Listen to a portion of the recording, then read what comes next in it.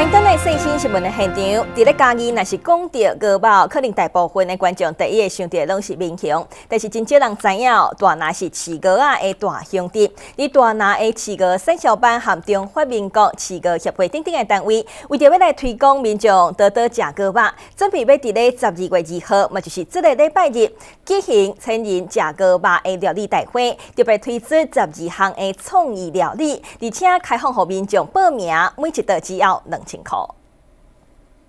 总铺师用流利的刀工快速来剁鹅肉片，并在就刀进前，佮用鹅汤淋在顶罐来增加肉片的气味。用伊的伊的杀起来的高汤，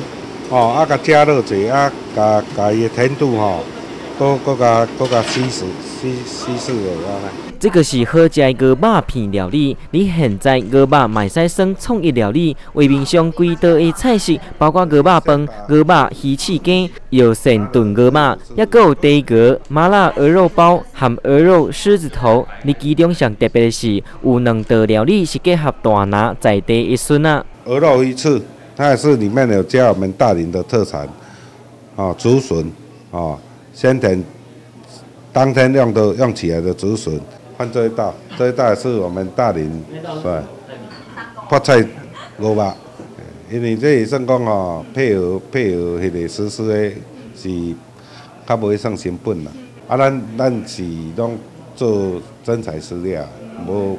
毋免去毋免去偷的啦。事实上，真少人知影大拿是饲鹅的大乡镇，其中是以饲鹅仔囝为大宗。而即处中华民国饲鹅协会和嘉义县政府大拿镇公所等单位，为推广民众来食鹅肉，结合着餐厅业者，推出十二道的鹅肉创意料理，准备在二号这个礼拜日邀请一千名的民众参加即处的鹅肉品尝大会，你一道只需要两千块。然后这一次，这个中华养鹅协会哈，特地在十。二月二号办像这样子的鹅肉宴，啊，其实哈，为了被推广这个好吃的鹅肉，所以呢，一桌呢只有两千块这个推广价。啊，菜色非常丰富哈，包括咱来咧寒天会感觉寒的时阵需要顶补的时阵吼，像这个何首乌的鹅肉汤吼，都非常的养生，所以菜色丰富吼，都包括有独特性啊，希望讲吼，伫十二月二号吼。大概会当做会哈，让妈妈休息一天，全家大小一起来吃这个